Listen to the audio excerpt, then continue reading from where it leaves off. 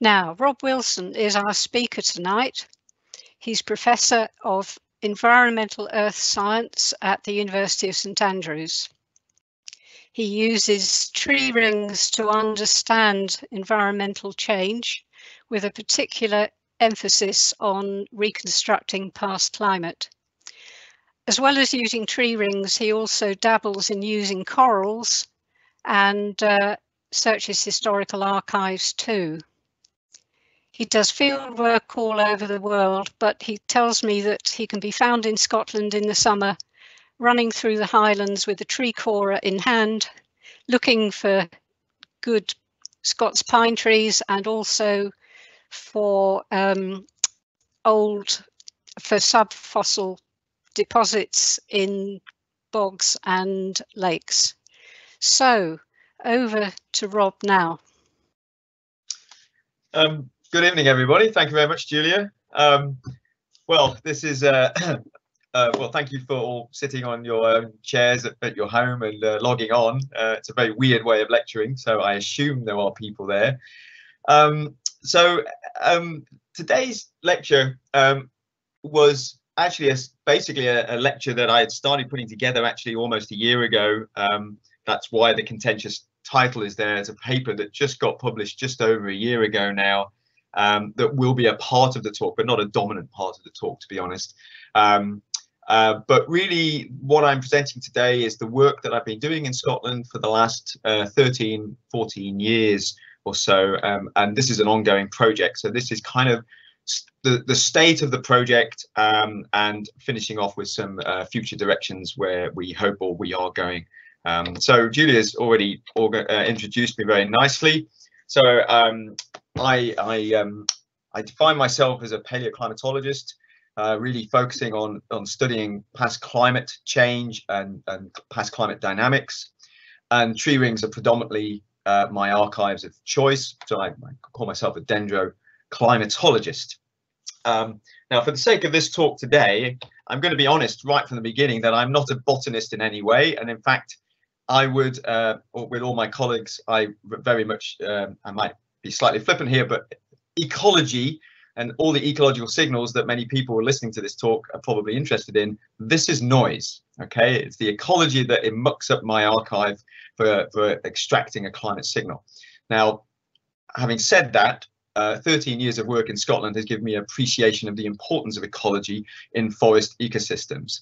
Um, so I, I, am also an ecological convert um, over the last decade or so, mainly because um, the human impact um, and the human disturbance on the woodlands of, of, of, Scotland is quite profound, and we needed to cater for such disturbance before we could actually use these archives uh, for climate.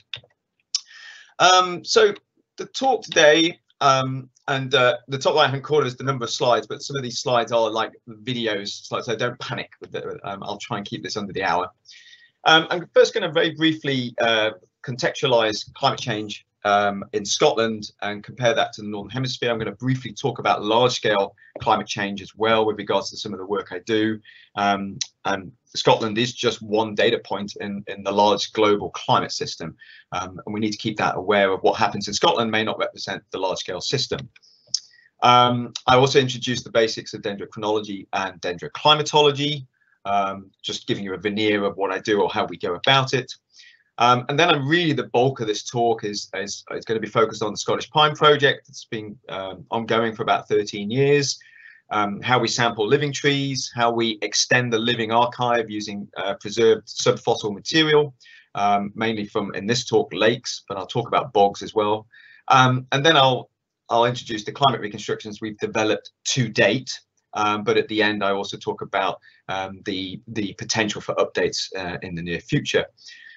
Um, and then I'll talk about the 17th century, which was a, a thoroughly miserable century to be living in Scotland, um, which ended with a profoundly um, uh, difficult period uh, leading up to the union with England. Um, and that's where the sort of the, the story about uh, the, the loss of independence comes into the whole story. And then finally, I'll talk about ongoing and future research with regards to the Pine Project and what I'm doing in Scotland. So this is nothing new for all of us listening. Climate is changing. Uh, the IPCC uh, has got a very clear statement out at the moment amongst many scientists. Basically, a global warming of one and a half degrees relative to pre-industrial, so let's say before 1880 or before 1850, will likely lead to irreversible effects on the climate system and substantial human impacts on society. Um, so I, I want to put that in context here about when I'm talking about some of the changes uh, that we, we see both locally and we see in large scales, um, is that we're on course for impacts on human society. Um, and although I'll be talking about the 17th century um, and the potential impacts on society at that point, that was a, a cooling effect and how that impacted climate, where we are now thinking about a warming effect and how that might impact society in the future. So if we look at um, the Northern Hemisphere, and I'm just looking at annual land temperatures, um, this is a plot of temperature anomalies from 1880 up to present um, and these are anomalies relative to the mean um, of the last 20 years or so of the 19th century from 1880 to 1990. And we can see there's variability, but much of the increase in temperatures is in the last 40 years or so. Um, and the period from 2000 to 2019 is 1.5 degrees warmer than the tw last 20 years of the 19th century. So if we're looking at land only and annual temperatures for the northern hemisphere, and this is 30 degrees to 70 degrees north, so that's the sort of latitudinal band that I normally work with with regards to sort of conifer trees, um, then we're already at that sort of dangerous state that the IPCC has defined. Now, the reality is, is that actually climate is changing in a very heterogeneous way. So this is a spatial plot of change of the anomalies of the last 20 years or 1999 to 2019 relative to the last 20 years of the 19th century. And you can see that the warming is actually seen much more at the high latitudes of the northern hemisphere. This is a, well-known feature called polar amplification. Scotland and the UK here is nestled in this sort of orangey colour. So we've seen change of about one to two degrees. Um, but you can see that for lower latitudes here where we might be at lower rates of change, um, but still increasing. So that's when the IPC is talking about a global change of one and a half degrees. That's why, you know, we've got to be a bit careful trying to understand the local scale of change, because if you're at higher latitudes, you're in, in continental interiors, those rates of changes are going to be much more profound than maybe lower latitudes and oceanic, oceanic environments. And then in Scotland, uh, this is again annual land temperatures for Scotland. Um, and since the uh, the last 20 years relative to the last 20 years of the 19th century, we've seen about a 1.3 degree increase over that time um, and a sort of steady uh, warming from the 19th century up to the 1950s or so, a little bit of a cooling until the 70s, and then warming for the last 40 or 50 years or so. Um, so it's this kind of trend that I'm really focusing on in this talk about contextualizing the recent climate change in Scotland over a longer timescale. How unique is it? Have there been periods in the past that may have been slightly warmer or not? So when we compare local local Scottish temperatures to the Northern Hemisphere, um, we've got to be a bit careful about understanding these so-called dangerous levels of climate change of greater than one and a half degrees. This really does rep represent in some depending where you are whether it's lesser or greater changes at the regional scale. I mean if you're in the alps or if you're in alaska then um, temperatures are increasing at a much greater rate than we, we see in scotland. Um, as well as at larger scales then we need to understand the local scale changes okay? It's the local scale regional climates that just as important rather than just looking at these large scales uh, um, uh, studies as well now, we are quite lucky with regards to climate change in Scotland because the rate of change in Scotland is partly dampened by our proximity to the North Atlantic, where the rate of change um, is, is relatively modest. There's also a sort of cooling blue blob of sea surface temperatures just south of Greenland as well that's um, having a bit of an influence as well. So, you know, we're, we're not heading towards some dangerous state at this time, but it has still warmed by one 1.3 degrees uh, the last 100 years or so.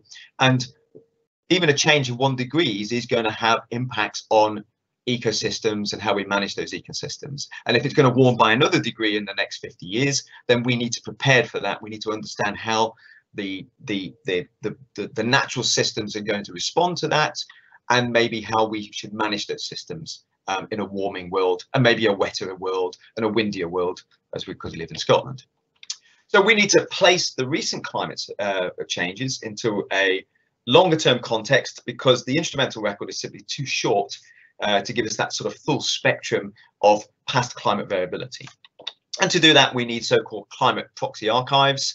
Um, it could be ice cores, lake sediments, stalagmites, historical documents, and of course tree rings, which is going to be the focus of today's talk.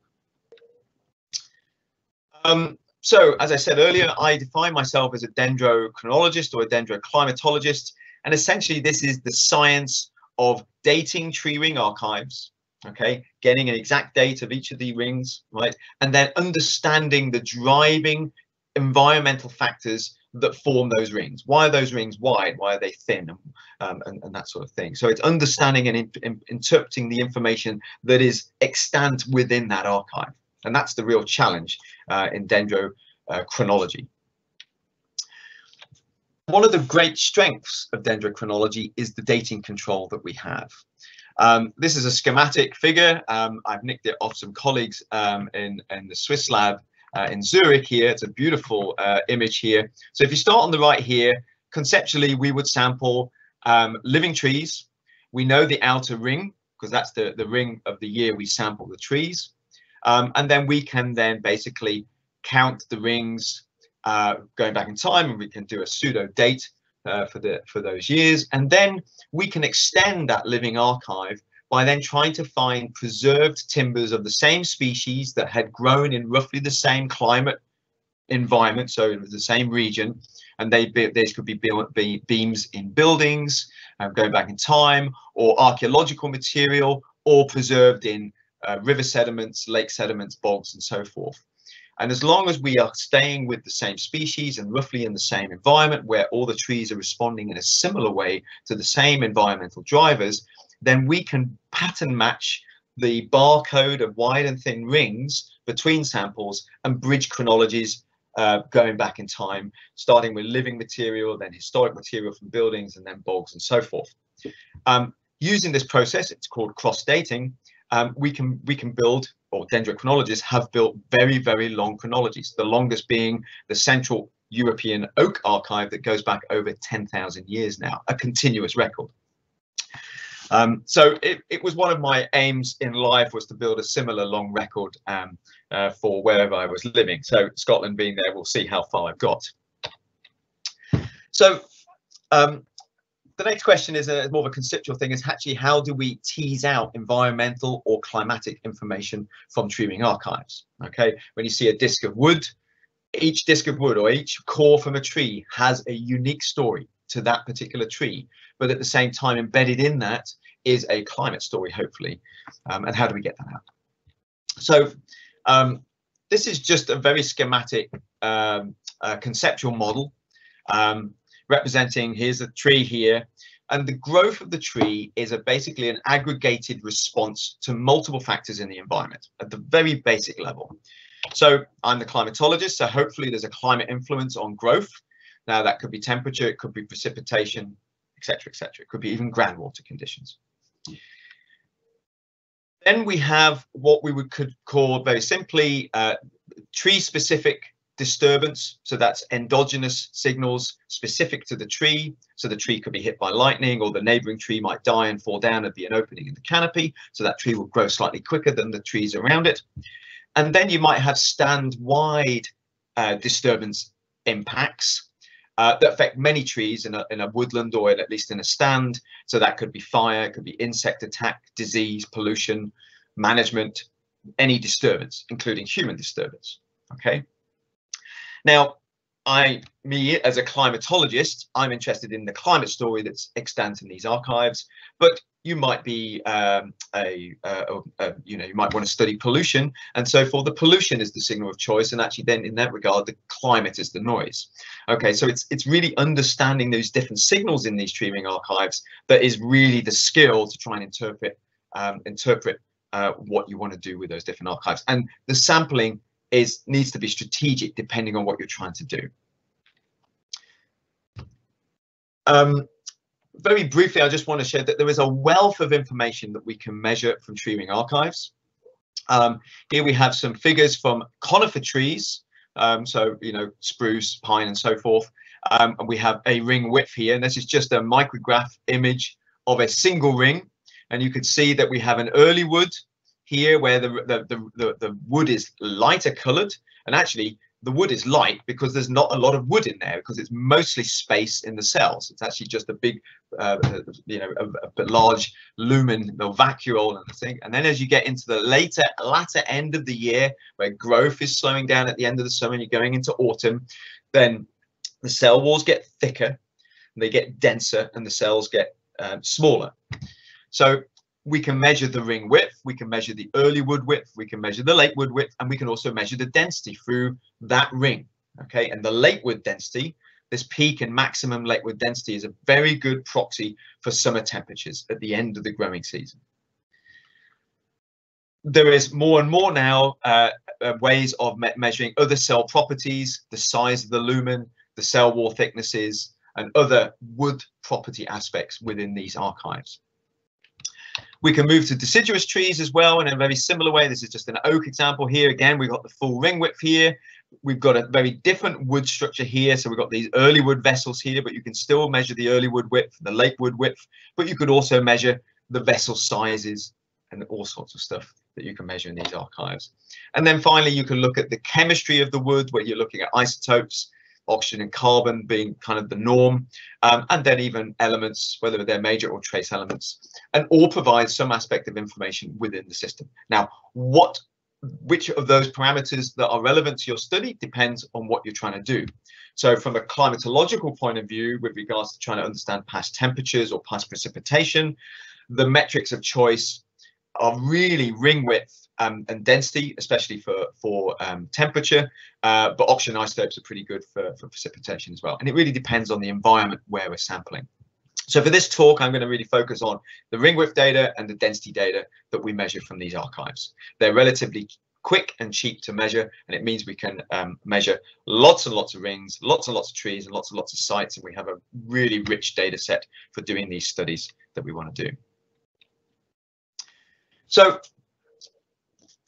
in 2007, when I got my uh, position, uh, started at St Andrews, um, got my first lectureship, um, finally I could then start sort of thinking about creating a lab. Um, and because I was based in Scotland, um, there had been to to date at that point not much dendro uh, climatological work that had been done. There's been some proof of really nice proof of concepts work done in the 80s with regards to climate, been some archaeological and historical dating. Uh, but that was challenging compared to other areas in, uh, in Europe because there really wasn't the reference material. Um, and then a little bit of sort of forest dynamics work that had been done through forest research. So I set up the Scottish Pine Project. This was very much collaborative in nature. The, the initial focus was on climate, uh, but of course there was an ecological aspect there because of all the disturbance uh, the woodlands have been going through. And then there was an archaeological aspect because we wanted to date buildings. This is a link to the project website. And I started off with this slightly naive uh, uh, idea of taking representative samples from every semi-natural pine woodland in Scotland. Now, there might only be 1% of semi-natural woodland remaining today compared to six or 7,000 years ago, but actually it turns out to be still quite a lot of woodland if you're trying to visit them all and, and walk or run your way through them.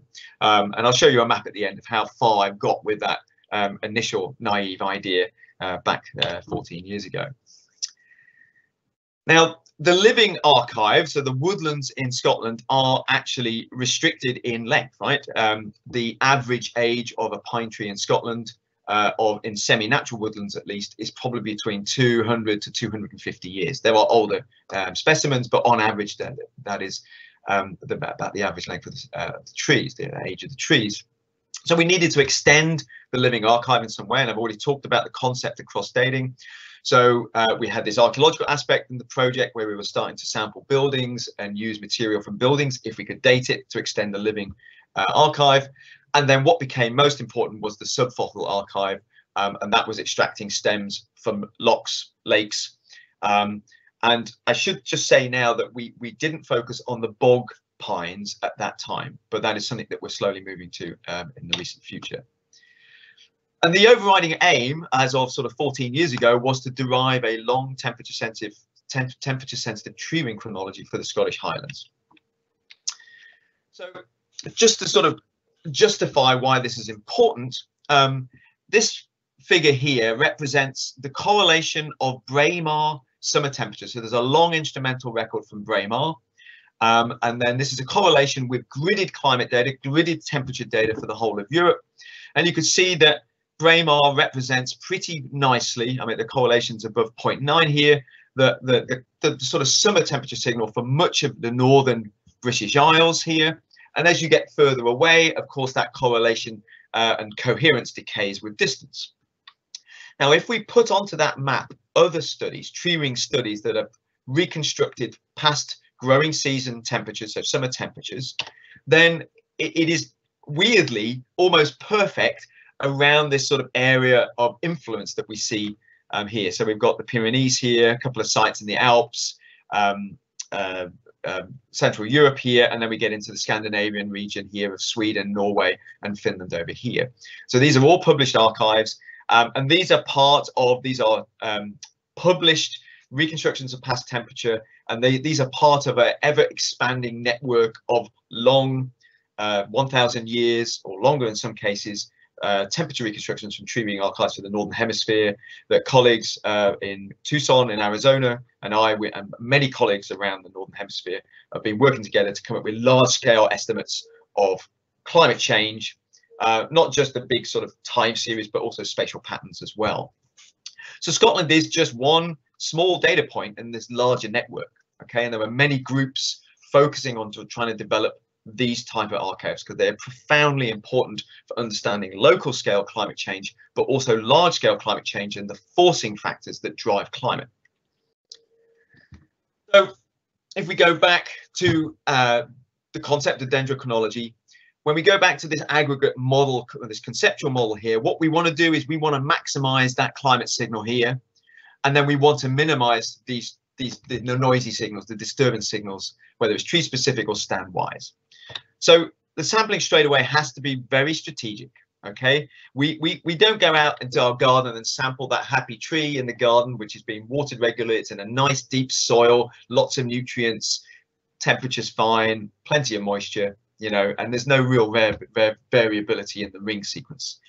We go to the environments where these trees are pretty much hanging on, ideally for dear life. You know, they're uh, thin soils, up at tree lines where they're at the sort of boundary climatologically, uh, where it's starting to get either too too uh, cold or too dry for tree growth or cambial activity to happen each year. So it's the extreme states that ideally we want to head for. Okay. Now, so that means growth ideally needs to be limited by one climatic factor. And as a basic rule of thumb, and this works throughout the Northern Hemisphere and for, for pretty much any tree species you want to to target is if you go up to the high elevation or the high latitudinal tree line of most tree species, then that tree line exists because the summer temperatures above that tree line, whether it's higher latitudes or higher elevation, simply become too cold for wood formation in the growing season and so you get no trees beyond that limit okay? So that tree line is important it is a temperature controlled tree line. So we get to that tree line and we sample the trees just below that um, and they generally are quite responsive to temperature at the same time, if hydroclimate or precipitation is your is your climate parameter of choice, then you would go to low elevations or low latitude environments where you're getting to warmer, drier um, areas. So the American Southwest, southern Spain, Morocco are all very good examples for these. And then precipitation, moisture availability is your primary control on growth. You can enhance the climate sensitivity in these archives as well is by also targeting um, extreme ecologically extreme sites, ridge crests, talus slopes, where the, basically the soil quality is very poor and therefore growth rates are extremely slow. So um, depending on how well you know the highlands, you go to Green Loch or the talus slopes in Glenfeshie, up into Allerdale, um, and, the, in these environments, the trees are very slow growing, but very, very sensitive to, to, to, to uh, climate change from year to year. So the great news is that Scots pine is a beautiful species to work with, whether you're in Scotland or going into Scandinavia or even down into the Alps and so forth. It is very sensitive to, to temperature change when you're at high elevations. And in Scotland, through the work we've done over the last sort of 15 years or so, um, is that for most trees, most pine tree specimens that you sample above 250 meters, but getting up towards 600 meters, the, the, sort of getting close to the true, true tree line, then you get a very nice temperature signal within these archives. Particularly strong in the density parameters in the rings. It is in the ring width as well, but it's really driven by the uh, by the density data, and that's really what I'm focusing on in this talk. So, so the, the, the sampling is very strategic um, and we can go to these environments, but what we need to do is minimize these tree-specific um, noise factors and certainly stand-wise noise factors like fire and so forth. Now in Scotland, the biggest disturbance factor is man. Okay, there's been many centuries of timber extraction, and if you go into a woodland and you remove, say, I don't know, 50 to 80% of your trees, then those remaining trees are going to go, whoa, wait, hey, look at all that canopy, all that space, all those nutrients. We're going to grow. We're going to grow quicker right? And that's great. The trees are happy. Those survivors, they'll they'll they'll have this nice pulse of release, and they'll grow quickly for a while, and then they'll start slowing down as the new uh, second generation or the next generation of woodland grows up around them. The problem is, is that release event is a real headache for the climatologist because that is a pulse of growth, a pulse of pro productivity, wider rings that doesn't represent climate. So the first thing just to get around the tree specific uh, noise is we just simply sample lots of trees. Um, and it is the norm nowadays is that for every site we sample, we try to sample at least 30 trees per site. Um, although I have colleagues where we sometimes we you know, we've got some sites we've measured 100 depending on um, how many times we've gone back to certain areas. Um, and you know this is just an example of 10 trees here.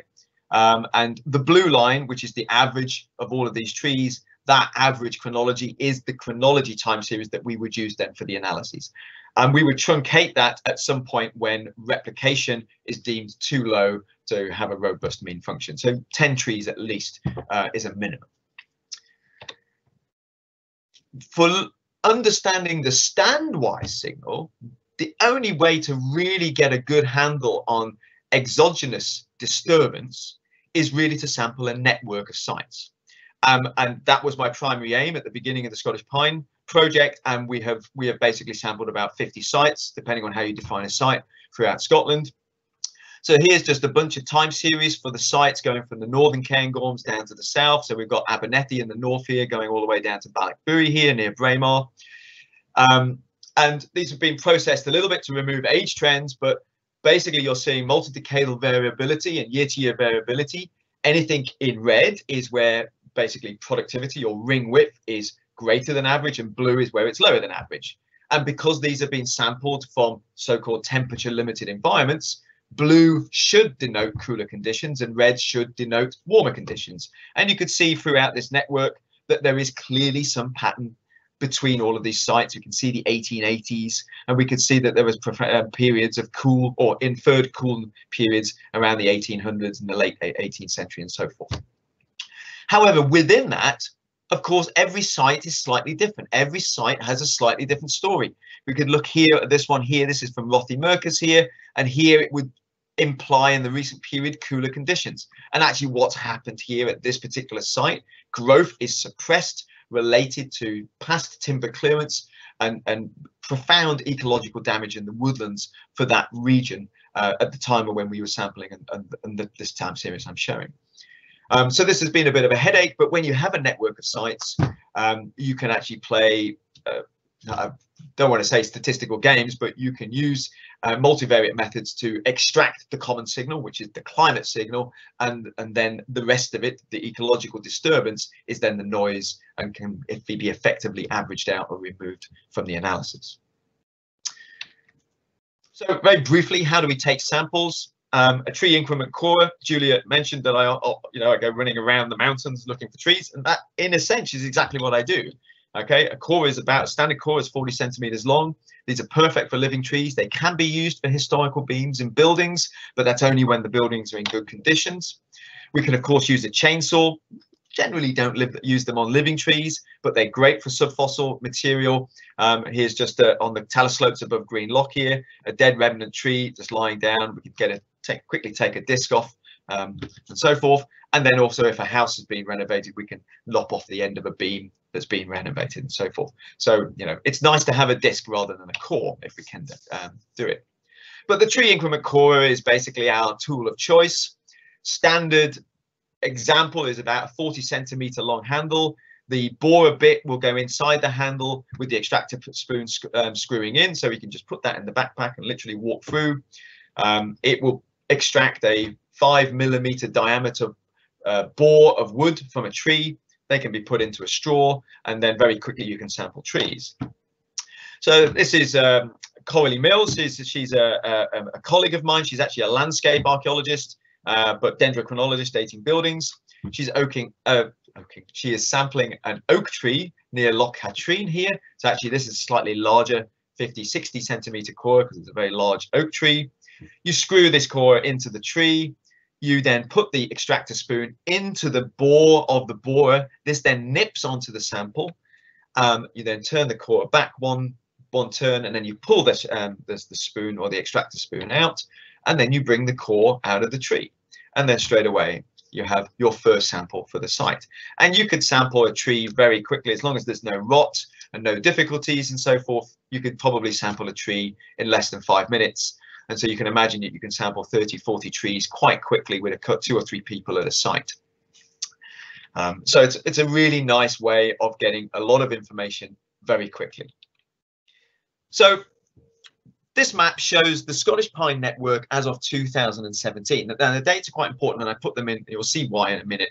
Um, and so I had a PhD student working um, on what I call the first phase. We're now in the second phase of the Pine project. But the first phase, um, uh, we had really tried to sample as representative sites throughout the available extant pine woodland across Scotland we sampled roughly about 50 high elevation sites, and I'm defining high elevation as above 300 meters. Um, and uh, you'll see that in the west, uh, I've lost my, uh, but the west here, we had a much sparser network relative to the Cairngorms. The Cairngorms was our initial focus. Most of the sites work very, very nicely in the Cairngorms, and a lot of the problems we've experienced in the Scottish project has actually all been in the west. Um, two sites have trees that, that germinated or started growing in the 15th century. Um, one in Glenlyon on the west side here, and then in, in Mar Lodge in Glenderry. There's another one, and statistically, you can't actually tease out between the two sites of which is older than the other.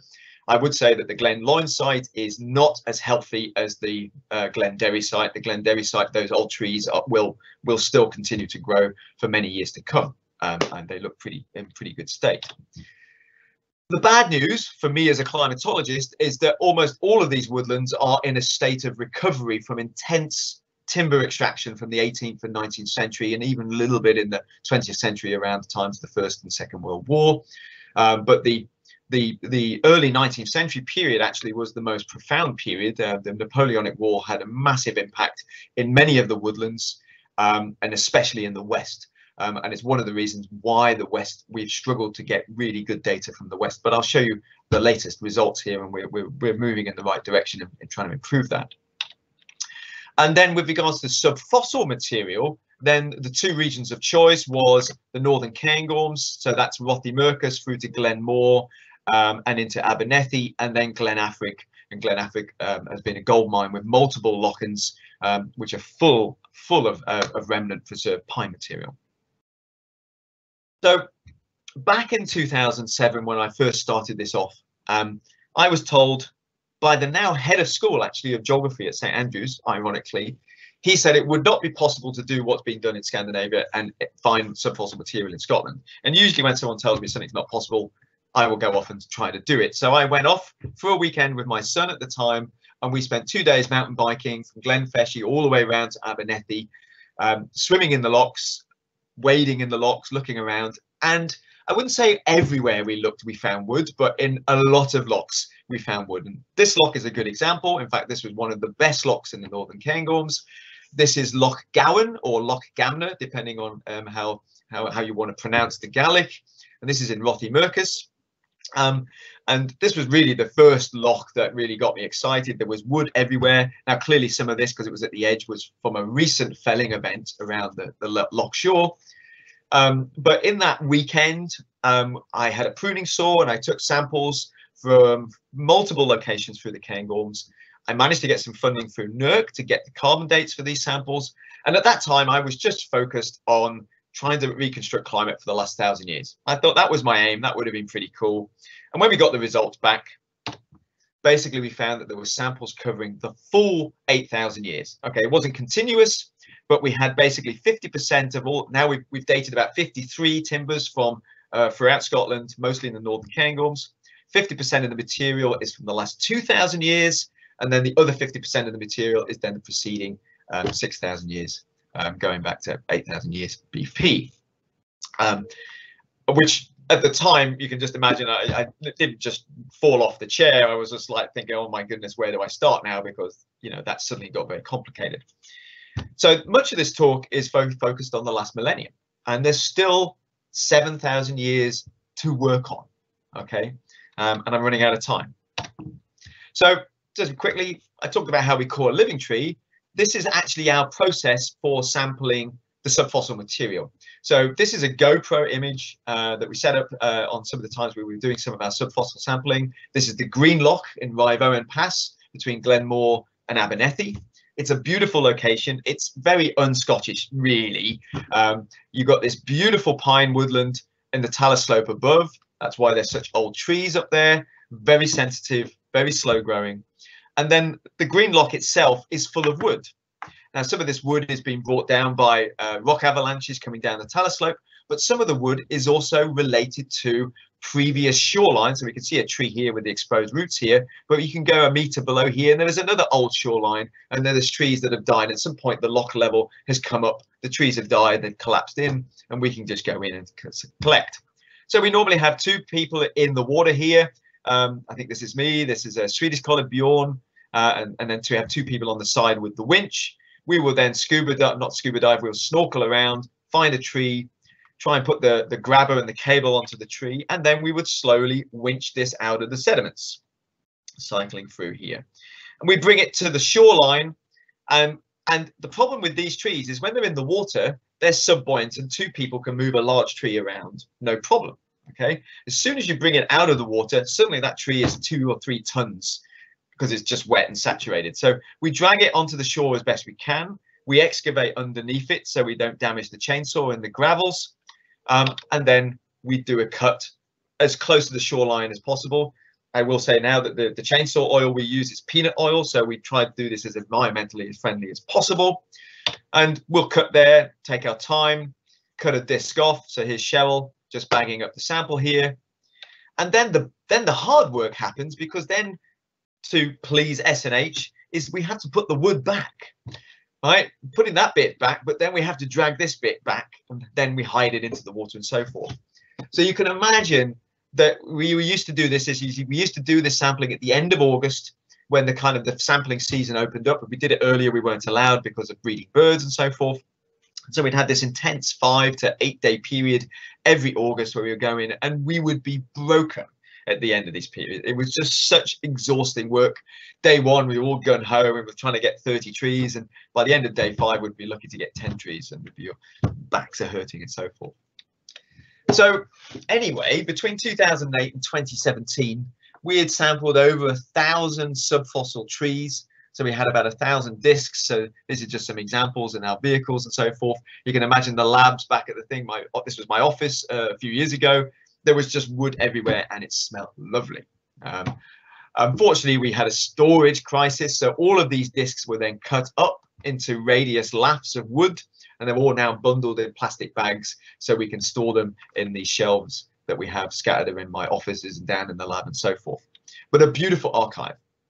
Um, and far from complete, I will say this now, you can actually see here, the preservation of some of this wood is not brilliant unlike Scandinavia, we have very mild winters. You might not believe it. Actually, it's all melting out here. I'm, I'm at Penicuik here. We had snow and it's all melting. It's miserable. Um, unfortunately, in Scandinavia, you get these really cold winters and it preserves the wood very nicely in these sort of anoxic lake sediment environments. Where in Scotland, it's just that little bit warmer. There's a bit more vegetation in the lakes. So the preservation uh, is not always brilliant. So there is a finite amount of work we can do with this archive, I think, compared to Scandinavia. So the last year that we did any sampling was 2017. Um, and then um, we're going to move forward to 2018 and so-called status of the project. And there's a reason I, I did, um, um using this date. So here we have just a, a, histogram showing the number of trees on a number of samples. Um, and then this is focusing just on the northern cairngorm. So Rothiemurchus through to Abernethy. So the dark green here is lots and lots of living trees that we've sampled. These sort of paler green here is then the cross-dated subfossil material from the lochs for all of that region, going back to the, around just the end of the 12th century, with a nice overlap with the living data, so we can ensure we get this tight cross date. And then we've got these prolonged periods of material from the sort of the big third to the fourth century, and then the sixth to the to the ninth century, 10th century, and so forth, where at the moment they are placed in time through carbon dates internally consistent, but still we haven't got a calendar date because we have this annoying gap uh, in the 11th, 12th century period. Um, now, this was back in 12, 2018. Now, in the August of 2018, I was approached by BBC Breakfast, of all people, um, because they wanted to film some dendrochronologists doing uh, subfossil sampling in, in the Highlands. And actually, this was partly to help a new lab in Cambridge that was being developed at the time, but they weren't set up to do the fieldwork. So I was asked, so I got all the glory of being on BBC. So they came up, we organized, we had a couple of days sampling. We had one day of doing subfossil sampling. And if anyone has ever done any TV stuff here, it's just endless jibber jabber, of them asking questions, the same questions, you answering it. They do it in different locations and they try and make everything look very nice. And at the end of the day, we only sampled one tree. Now, what was frustrating is back in 2018, we had had a very nice, dry, hot summer. And the, the loch level, Green Loch, so we went to Green Loch because the visuals were so nice. The lock level was one meter lower than it normally was when we went sampling then. It was just so much more woody material that we could access. It was just lying there ready to go. And we were like, oh, yeah, we can sample this stuff, no problem. But the way TV works, in the end, we only sampled one tree. So what was the date of that tree? Well, just by luck, 985 to 1266. It overlapped with this period here beautifully, dated it in, and it filled the gap. What was frustrating is that I was bemoaning in the interview with the BBC of like, oh, we've got this gap, right? And it turned out that with the lock level being so low, we actually have the medieval shoreline and all the dead trees at that point unfortunately, since then, the lock levels have been back up and we have not yet been able to go back in because we've tried scuba diving and it's just too dangerous to do sampling and scuba diving in the way we, we would need to do it. So we're waiting for another drought year. Um, but anyway, this was great news um, and we are just waiting for a hot summer to go back and really fill in this medieval period here. Um, we took two samples, I should say, and uh, it even got to the red sofa on Breakfast TV where Dan and Louise uh, complained of how smelly it was because it had been in a suitcase for six weeks by the time it actually went onto the BBC. But there you go. That was the bit. I did warn them that it would start smelling. So anyway, so remember, I've been sampling in other areas, not just the Cairngorms. We, we've got a lot of material from Glen Affric um, and also historical buildings that we've dated in this project. So if we start lumping all that data together, so this is still a 2018 thing. I don't have the BBC sample in here, but we've got now more dated material in this period. Now we can see that the replication is vastly improved. Um, we've got a whole bunch of historic early material here. Uh, some of this is actually from St Andrews, one of the buildings on South Street. Um, and then we've got uh, lots of material also coming from Glen Affric. Now, what is interesting from Glen Affric is that the Glen Affric material is actually substantially older than the last millennium. So that's just material just ready to lock into this jigsaw piece uh, puzzle uh, in some uh, uh future time. Okay, so I've talked a lot. I haven't talked about climate. So let's have a look at the climate reconstructions. So uh, as part of Milosh's PhD, um, we actually divide, uh, developed two products. Um, we one that's really going to be the focus of the rest of this talk is what we call the extended reconstruction. So this was look, looking at all the living trees and the subfossil material from the northern cairngorms, so Rothiemurchus right through to Abernethy. But we also used the whole network to come up with spatial gridded reconstructions from Scotland. Now, this was more of an exercise to identify where the reconstructions were doing well and where they were failing.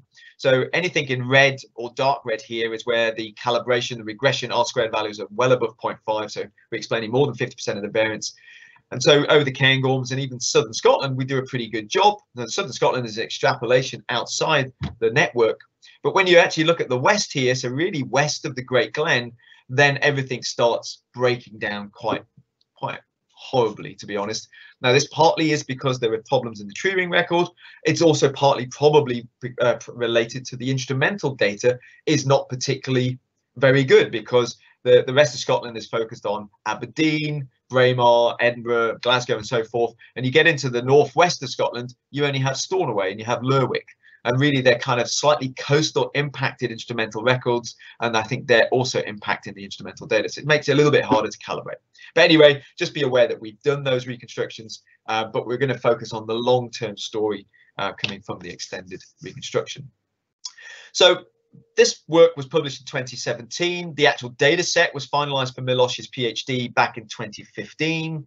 It was made up of 347 living trees from the northern Cairngorms and 109 subfossil tree samples at that time to extend the living archive. The calibration from this, so this is a multivariate mix of both ring width data and density data. Um, and you can see that the calibration, so in black is the reconstruction, in red is July, August mean temperatures, so summer temperatures, late summer temperatures, and the calibration is really very good. Um, even if you don't understand the R squared, at least the visual comparison of this is pretty spot on. Remember, these are trees, this is not thermometers. So, you know, there are other things that are impacting the growth of these trees, but you can see that it's actually quite tightly coupled uh, with the summer temperatures. And if we do a spatial correlation, so I showed you one earlier against Braemar instrumental data against Europe, this is the same of the reconstruction against the rest of Europe. And there you can see that the reconstruction does a pretty good job pretty much for the whole of the United Kingdom. Um, and again, it, that correlation decays as we go further away from the United Kingdom. So it's doing what it should do, um, and it's a really nice, well-calibrated reconstruction, and is on par for most reconstructions um, around the Northern Hemisphere that has this amount of data going into it. And this is what the reconstruction looks like. So it goes back to 1200. Um, it is plotted here as temperature anomaly. So this is deviations in, uh, in, in, degrees Celsius relative to the mean of the period 1961 to 1990. It's just a climate norm. Uh, just be aware that this variant of the of, of the reconstruction has more uncertainty in, in many ways prior to 1550 and that's really just because we have less trees remember we have 300 living trees at the recent end and only about 100 trees making up the pre-1700 period so the replication is a lot less um, and, and, then we're working on that to improve that in the, uh, in the future and i'll very briefly show that um, as we come up to the end of the talk um, and you can see there are prolonged periods of cooling. These are in blue. We've got the warming uh, period in the recent period that matches the instrumental data nicely parts of the 19th century were warm, and then you can see nuggets of warming going back in time here. Now, it is very likely that these periods of warming here are an artifact of the, the noisiness in the record, and I'll briefly talk about that. The warmest century is the last 100 years, 1911 to 2010, and the coldest century is 1612 to 1711. The 17th century was a miserable period. That was not the century to be alive in Scotland. I just we don't have much time, so I can't really go. But this is a really, really rich archive of past climatic information.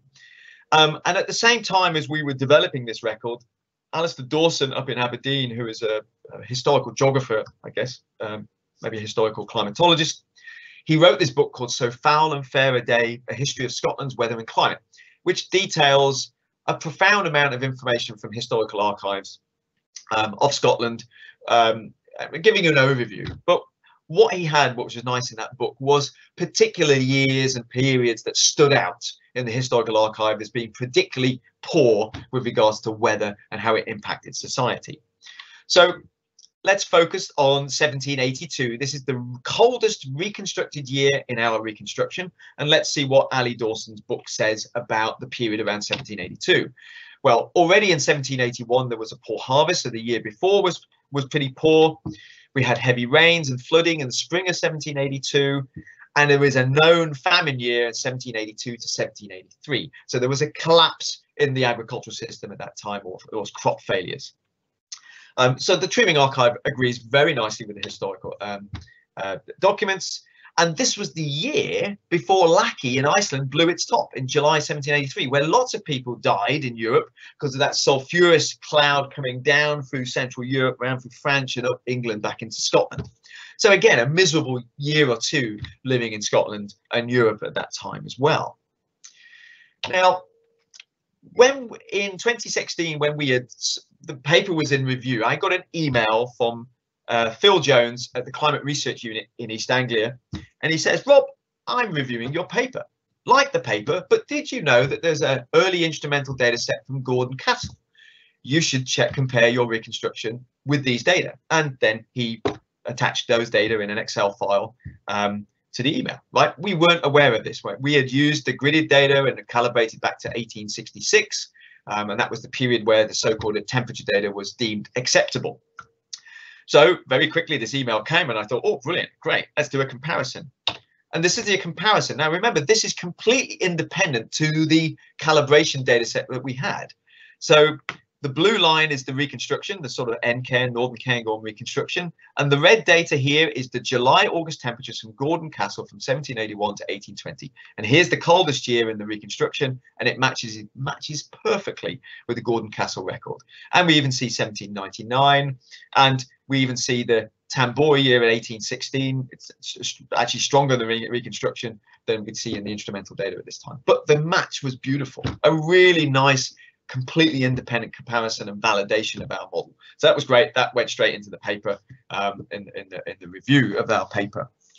But what was interesting in our record is I've done a lot of work, and I'll very briefly talk about that just over one slide, is that such tree ring archives are very good at picking up volcanically forced cold years. So Tambora blew its top in 1815 in Indonesia. In 1816, we have global cooling, the year without a summer in Europe and so forth. We pick it up here. But the Scottish Archive has actually picked up lots of cold years that don't coincide with known volcanic events. 1782 and 1799 is a really good example. So what we did is we compared these very extreme years with a pressure reconstruction done by climatologists in Bern in Switzerland, and we looked at the mean pressure pattern for these cold years. And what it turns out, so this is from 1650 to present, is that on average, when you get these extreme cold years, cold summers in Scotland, they are all related to a basically a prolonged low pressure system scenario based over just to the north of the North Sea, bringing down then cold air right down from the north across Scotland and into Europe. Okay, so Scotland is a slightly bizarre archive compared to some of the more continental-based archives, uh, tree archives, which show very clear volcanic forcing, Is here we get a mix of volcanic forcings, but we also get this dynamical cold years related to this low pressure system that keeps once in a while hitting our uh, climate and causing us to have a miserable summer. So it was a dynamical, interesting sideline to the study. So if we go back to the reconstruction, well, this comes to the nuts and bolts of the thing. The coldest decade in the reconstruction is the end of the 17th century. It's 1695 to 1704. Now, this is a well-known cold period. I mean, we haven't, we weren't the first to discover this in any way, but we were the first to put it in the context of the last 700 years or so. Okay. Within that, 1698 is the second coldest year in the reconstruction. This period is well known to have been cold globally related to multiple tropical volcanic events. Hekla also blew its top in Iceland. We also had the so-called Maunder minimum where the sun was in a slightly quiescent phase at that period. And so the global patterns of cooling are quite strong and profound in the 1690s. It just happened that it was more severe in Scotland and certainly eastern Scotland it's actually less severe in, in Western Scotland, interestingly, but certainly in the Cairngorms, this was a really cold period. So 1694, this is well known, was the first of seven years of crop failure and famine across Scotland. This was known as the Ills. Okay. Um, and a quote from Ali Dawson's book From the unfortunate year 1694 till 1701, the land seemed as if struck with barrenness, and such was the change on the climate that the seasons of summer and winter were cold and gloomy in nearly the same degree. So not much different to what we have at the moment, I guess. I'm just being joking. So this was a thoroughly miserable period, okay? Climatologically driven. It's also at the end of a very cold century as well. Okay, we must remember that this is not just a one-off decadal period. That there was this was a prolonged period of cold conditions in the summer. The tree ring archive is the summer. That's the growing season. So we need to think in those terms with regards to agricultural productivity. So if we roll back now to 2020, just over a year ago, we published what we jokingly called the Brexit paper. Um, and I, I have uh, no excuses for the, the contention that this paper might cause or have caused. Um, and the title was Complexity and Crisis, the Volcanic Cold Pulse, pulse of the 1690s and the Consequences of Scotland's Failure to Cope. Now, before, luckily, none of you can start shouting at me. Um, the, the message, I'm not even looking at the messages. This was a paper that we really wanted to talk about a very severe period climatologically um, for, for Northwest Europe, but also geopolitically, it wasn't a particularly good time for Scotland either. Okay. And this whole period was kind of the end game of a, of a very long 17th century of cold conditions, um, political crises with England. Um, and, and, and, and the paper really focuses on the complexity of all the different parameters. It's not a, a, a deterministic paper and say, when climate's cold, everything's going to go to pot in your culture. It wasn't that kind of paper. And it was really, we were focusing on the complexity of all the different factors that could lead to a culture that struggled, right? So what are our basic uh, conclusions? So from the Dendro archive, the 1690s, the coldest decade in Scotland for the last 750 years. Uh, and this was basically driven by volcanic eruptions. So that was the sort of climatological science we had, I should say here as well, that Patrick Klingel here and Timothy Newfield were two historians we brought in here. Patrick had spent about eight years of his life going through the Scottish archives, so knew a lot about the economic history um, um, and the arable and the agricultural history of Scotland and was focused on these kind of periods. So the historical archives, the 1690s was likely the worst era of crop failure and food shortage and mortality ever documented in Scottish history. It is estimated that 15% of the Scottish population died at that time, right? 15%. Now we're in the middle of a global pandemic. I'm giving a talk from my home office here. At the moment, 0.1% of the Scottish population has unfortunately died. But imagine 15%, right at the end of a period of prolonged coldness, misery, political, and all that kind of stuff. It, it must have been horrible. So and then you know when we when you look at the wider European picture, some of the other European countries weren't impacted. England, for example, wasn't as impacted by the 1690s cold event. France wasn't so badly. Finland was. Finland had a bigger die-off than even Scotland. And part of this was poor agricultural practices and their how basically they weren't very resilient for these big climatic hits onto the system.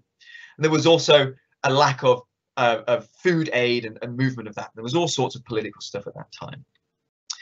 Further to all of this, though, the Scotland, the Scottish government at the time had set out to try and set up a colony in Central America. This was the so-called Darien expedition. Now, this was just a disaster almost from the beginning but it was something the Scottish people had invested in, not just the rich. This was everybody across from the poorest to the richest. It was sold as this is the way of Scotland to get out of this woes. We're going to invest in this trading post to bring, you know, material, you know, uh, um, as a trading colony between the Pacific and the Atlantic, and we're going to Scotland's going to be rich. It's going to be as as strong as as England, etc., etc. right? Of course, the Spanish didn't help Dave didn't want it. The English weren't very helpful. The Dutch weren't helpful, and so forth. And it was almost doomed for failure from the beginning. Now, about two and a half thousand colonists went down there. Most of them died, or those that didn't deserted and managed to escape up um, and out through the uh, isthmus. The, the resupply ships from Scotland didn't come because of all the famines of the ills, because they weren't even they couldn't even supply resupply ships. So the whole thing was just just a miserable period. It's a really interesting read, to be honest. Now, in March 1700, the Darien, colony was finally abandoned, but the implications of this attempt to colonize in Central America was that about one third of the Scottish wealth disappeared into this venture and finally crippled the, the Scottish economy that ultimately would have led to the Union a few years later. And this is the bit where you know, this is the, the end of Scottish independence. We had the Ills, we had the Darien colonies collapse, Scotland's subsequent economic depression really motivated the Scotland. They had no choice, really, but to join the United Kingdom. It had been something that had been debated for decades, but they, the Scottish, had been brought to their knees. Not all parliamentarians at the time voted for it. Okay, even today it's very contentious. Okay? Let's just talk about this. But it was thought at the time that it was the best and only way for Scotland to be financially, politically, and socially in a better position. Okay, and it was thought that they would benefit from England's international trade, political strength, well as social structures and systems and improvement of agricultural systems, which had certainly helped England in the 1690s because it had, but, but really had not been impacted so far. So we finished the paper with a contentious statement basically revolving around that maybe smaller states were more resilient as part of larger economic unions. Hence why we called it the Brexit paper, because actually we really were trying to make a little bit of a political statement because it, we started writing this paper before the Brexit vote um, and so forth, but unfortunately, but I still think personally that it might be relevant for Scotland. However, this is a political hot potato and is not the aim of this talk. However, this week on Andrew Marr's Start the Week program on Monday, there's actually a really interesting debate on Scotland and the Union, talking about this period of the 1690s and the implications of this period. They don't talk about the climate impact and how that might have had a bit of an influence, but they do talk about the woes of the 1690s and then how that led to 1707 and so forth. So that's really the end of the nuts and bolts of the science. But what for the last few slides, I just want to highlight what's where I'm going and what we're doing at the moment here.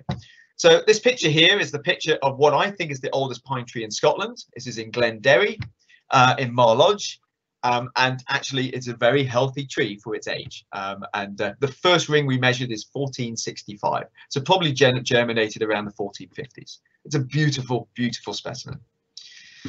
So as I said earlier on, Scotland is really a, a small part of this bigger mosaic climate jigsaw. Okay, um, so this is this network that we we published a few years ago, um, and all of these are similar data sets that we've developed in Scotland, done by many different groups. Um, and when you composite these together, you average out that kind of regional climate differences, and you come up with the large-scale climate change. Okay, so we've composited this data set, and this is a northern hemisphere reconstruction of summer temperatures using this record. There's 53 records um, and it's it's a really beautiful archive. Okay, I put it together. I'm not being biased here, but it's just it shows that when you get good quality data and you put this together, you get a profound picture coming through here. So you can see the warming recent global warming coming through right to present, looking pretty scary. Coldest period in the early 19th century. This is the Tambora volcanic event and so forth. And then you can see that the prolonged medieval period was warmer, but probably not as warm as it is today. And certainly was prolonged, but there's a lot of variability through that period. Okay. And in fact, throughout, as we drop into the little ice age, there were these pulses of coolness in and out and in and out. So climate's changing all the time and it's very variable. So from this work, we've been able to attribute uh, with colleagues from Edinburgh and, and, uh, uh, um, and elsewhere the main drivers of climate. And the most interesting thing for me, and certainly the work I've been doing in the last five years or so, is the influence of major stratospheric volcanic events.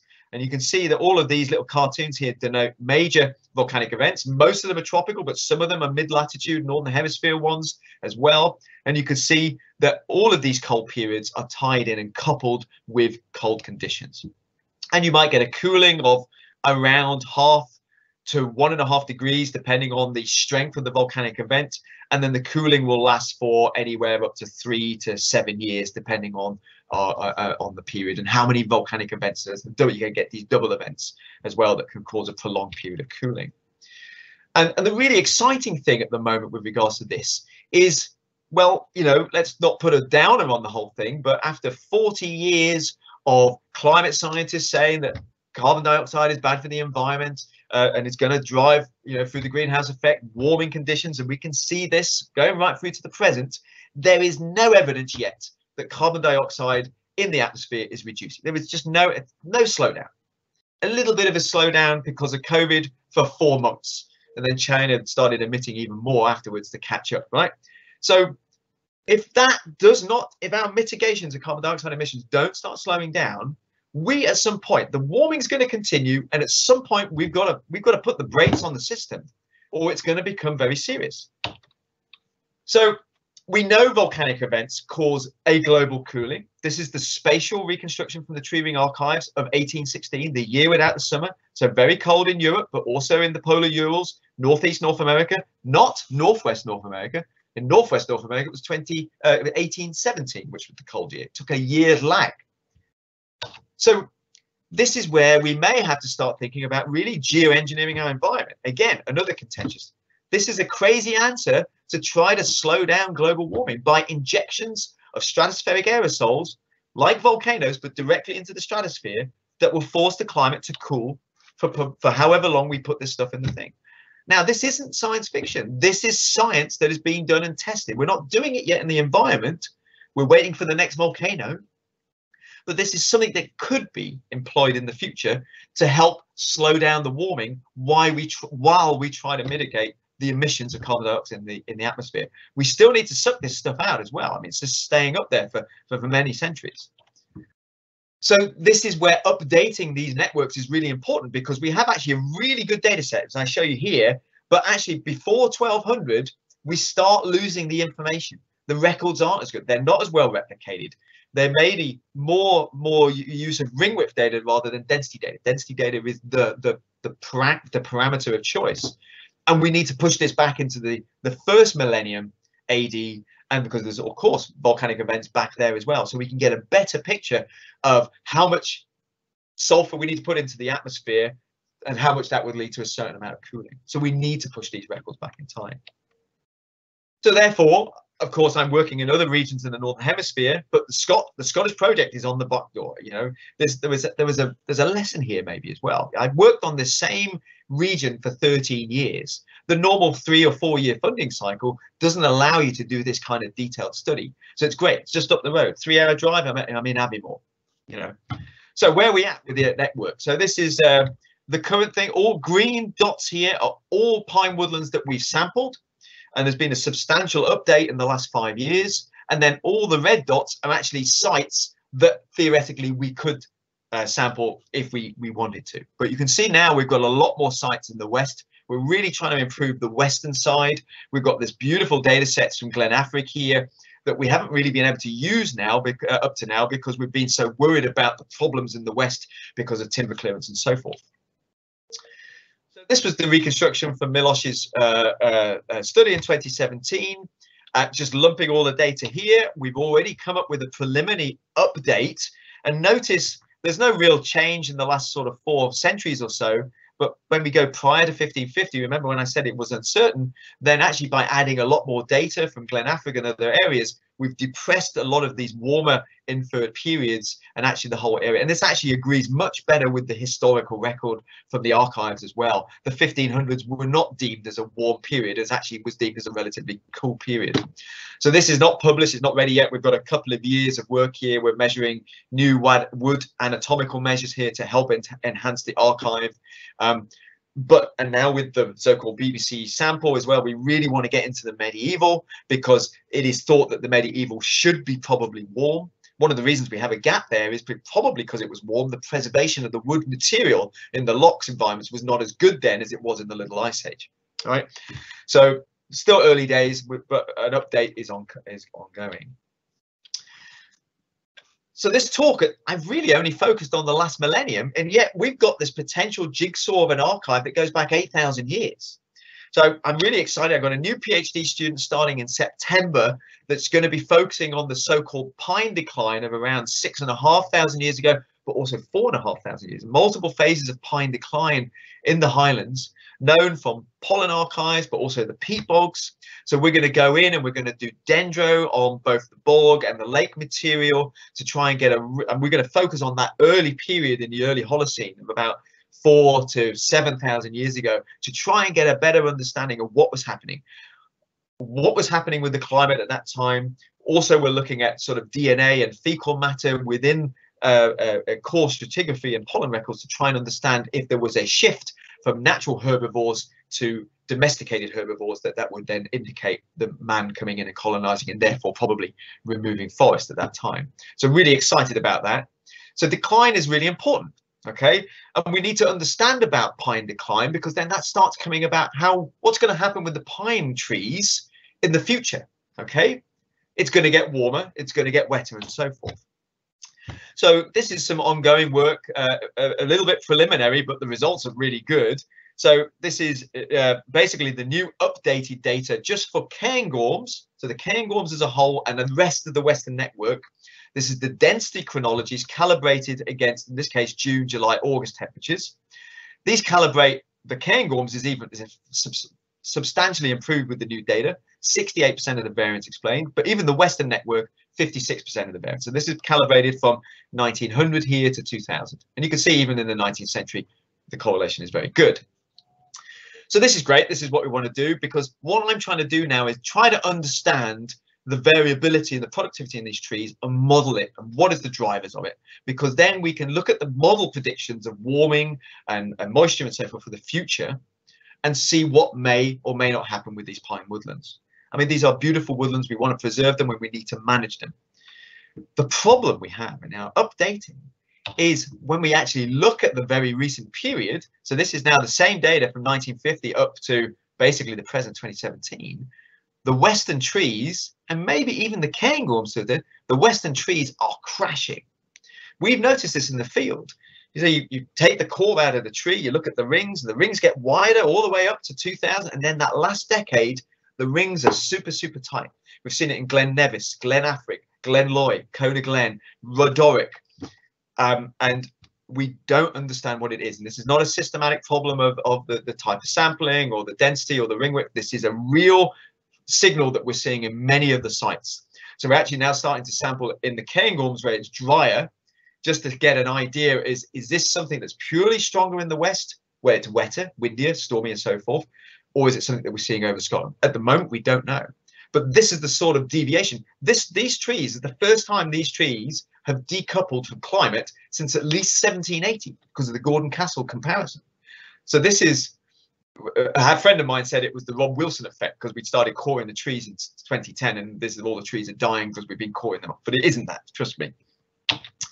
Anyway, my final slide. We really have a good, quite a good understanding of temperature changes for the last millennium, both at local and larger scales. With a couple of years work, we can get the full millennium of Scotland. I'm, I'm quite um, sure about that. Notice I haven't talked about hydroclimate in Northern Britain at all. We've done some work with oak down in southern England about 10 years ago, but in Scotland it's all wet. The trees are not limited by, well, if anything, they might be limited because it's too wet. Maybe that crash in the pines is that. So we're trying to start uh, getting some funding to do oxygen isotope measurements in the pine archives, plus oak as well, to see if we can come up with past precipitation reconstructions for Northern Britain and Scotland. That would be really important to know what's, you know, what was happening in the 1690s with hydroclimate. No one knows. What we can say is that extreme climate states do have impact on society. Okay, the 1690s is just one of many examples, and there's plenty of studies. And it's not just climate leads to societal collapse. There's all sorts of, uh, of, of, geopolitical problems involved in all of that. But we do know that a, a warm or a, a changing climate state, an extreme climate state, will put pressure on society. And we are entering a warm state. It might be a bit slower in Scotland, but there are other countries where the rate of warming is much greater. Okay, I'm doing work in the Yukon and Alaska, and these trees up there are struggling because of thermal stress. It's basically getting too war warm. The, the tundra is melting. Look at the Alps, warming. Summer warming is accelerating, and it's the, the, the woodlands suffer. So Scotland is warming, but we luckily are buffered at this moment. Um, and really, what I am now shifting to is really trying to focus on how potentially the pine woodlands could respond in the future. Okay, it is going to get warmer, it is going to get wetter, and it's especially going to get wetter in the west, and it's probably going to get windier. Um, and we are now shifting to trying to model the forward time. You know, you know, we need to know what these trees could do in the future so we can help better manage them. Maybe when we're planting and trying to regenerate these ones, especially if we're trying to sequester carbon by planting trees, we may need to sample, uh, plant the trees in drier sites. But at this time, who knows? But that is the focus of our work now. And I think on that, I have lots of people to thank for over the years. This hasn't been a one-man band. Collaboration, being part of a wider group is always a good thing. Um, and thank you for your attention. Hopefully you're all there still. Sorry, it's gone over time. Well, thank you very much, Rob. Um, we've had about more than 70 people attend. I'm not quite sure why I'm getting feedback at present. Um, okay, and there's a few questions come in, uh, wide ranging. So um, now let me just have a quick look through them. Now we had a question early on from somebody who asks, what was your career path? it, it, it's somebody who's in their last year at high school and they oh, right. want to become a scientist working on something to do with climate change. Um, so they'd be interested to hear how you got to where you where okay. you are. There was a very long answer to that, but I'll keep it short. Um, uh, I come from a medical family. Everyone in my in my family are doctors and nurses, um, and I didn't want to go that way. So I actually I went to university to become a geologist. Um, so I, I was very much into physical geography uh, at, at, school. Um, went to Durham University to become a geologist, and I hated it the irony now is I'm director of teaching of a geology department, but I'm not a geologist in any way. So I did my geology degree, didn't do so well, ended up in Tasmania to do glaciology in Antarctica. And while I was doing that master's, I met a dendrochronologist who was based from uh, Columbia University. And then I've worked with those people ever since.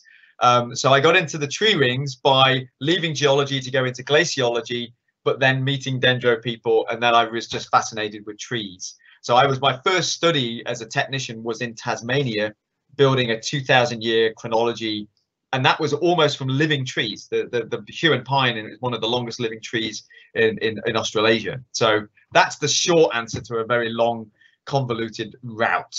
Um, but I I'm, I'm, a physical scientist. Um, but if any of my colleagues are watching, I'm a failed geologist, but I, I'm a climatologist now. Okay, and the same person later on is asking uh, about what journals you publish in. They'd like to follow some of this up, and I'm just wondering whether you could give us an extra PowerPoint slide that we could put up on our YouTube site. Um, and then they could go and have a look and pick yep. up on things from there. Early on in the, uh, I think uh, you can actually just, um, if you Google um, uh, St. Andrew's Tree Ring Lab, that will take you to the website and then there should be a link to publications. And then all my publications are there and i illegally have put links to all the pdfs so but you know so you know there's you know holocene there's a there's a few naturey type and science papers in there as well but there's a whole bunch of uh, uh, stuff. So that's probably the easiest thing but yes i can give you a slide with a link as well. I think in this talk as well early on when i talked about the pine project there's a link directly to this project website. But i i've done studies uh, we've got ongoing projects in, in South America at the moment and Australasia um, and, and across, of course, Eurasia and North America. Actually, most a lot of my work is actually mostly in North. I started my dendro career with my masters in North America, actually. Um, so we have these projects from British Columbia right up to the Yukon and Alaska.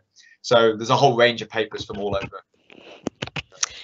Okay, great. Um, and somebody else is asking if you could write an article for them, but I suppose there the best thing is for them to follow up on your departmental website and get in touch with you that yeah, way. Email me, yeah. yeah, yeah. we're, very um, expensive as academics, you know, it's about a thousand pounds a word, I think now.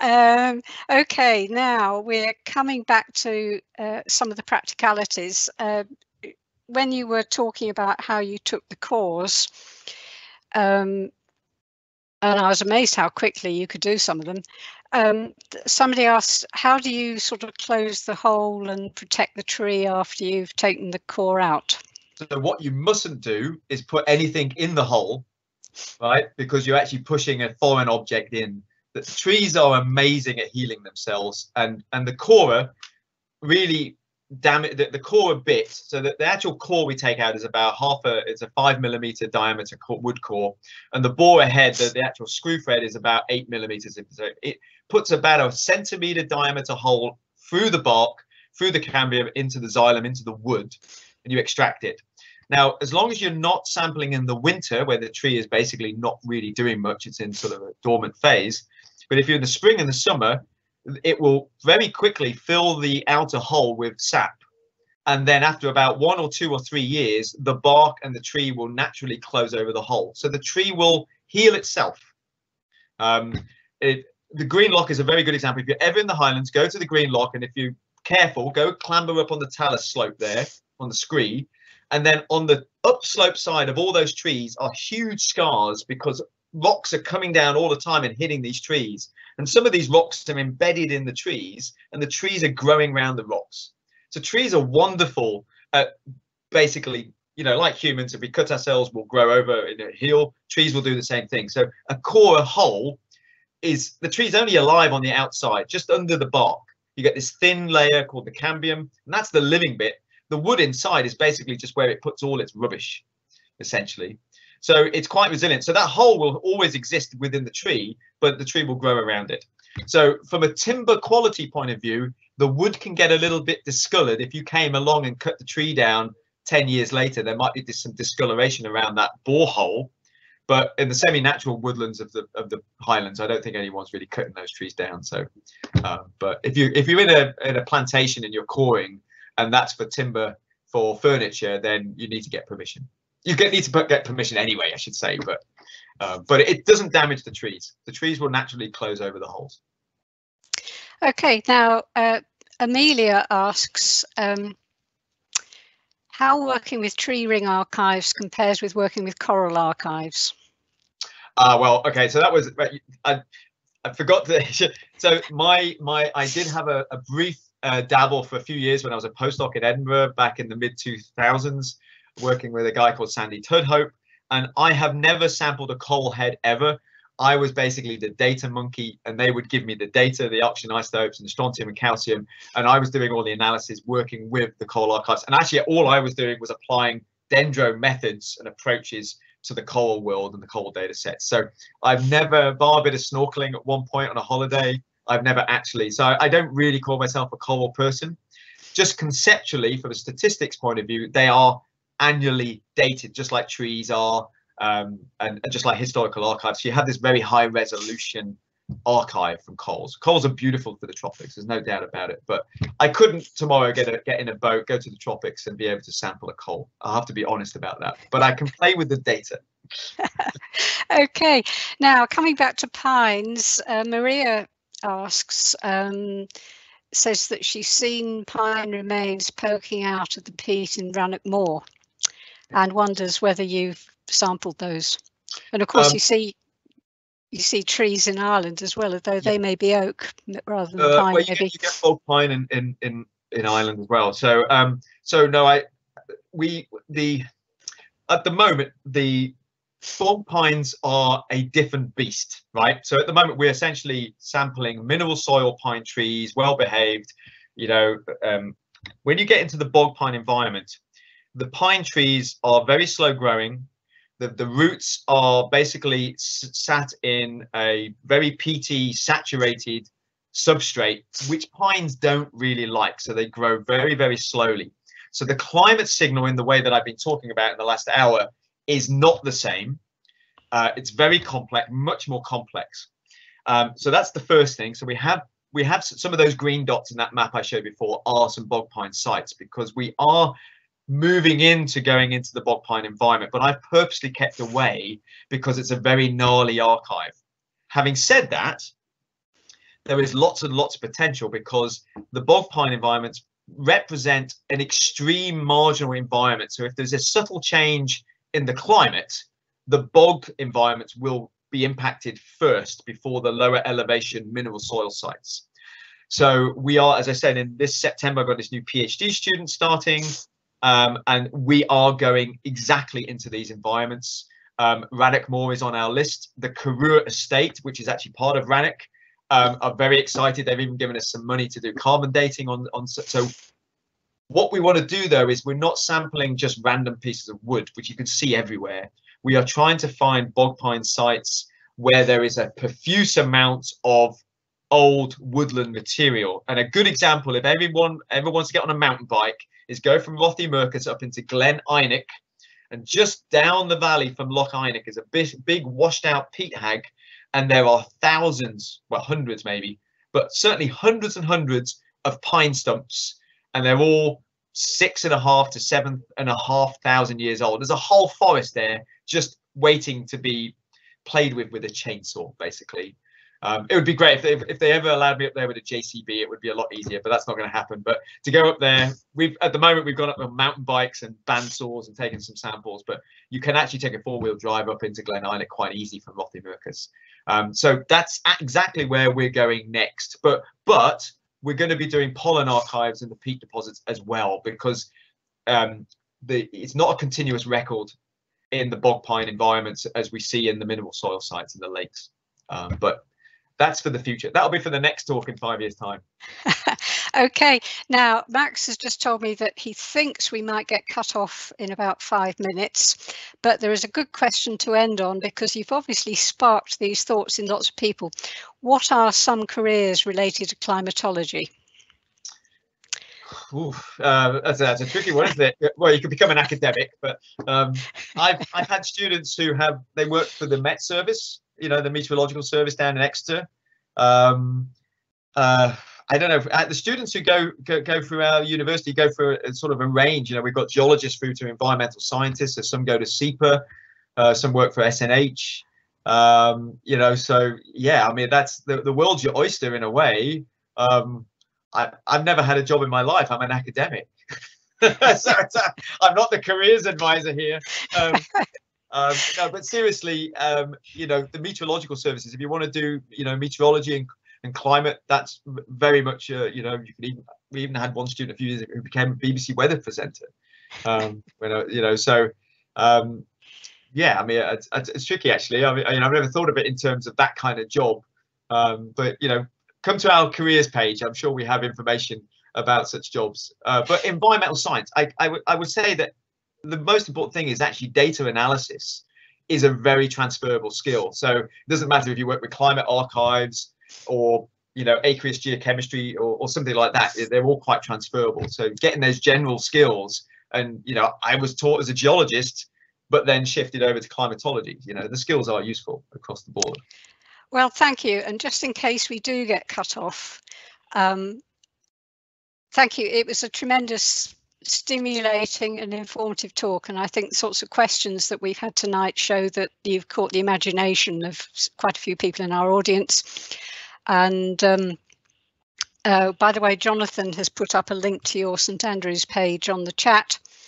Um, now, uh, so I'd like to thank the audience who've come tonight in particular and asked so many interesting questions and Rob for all his work putting together this really great talk.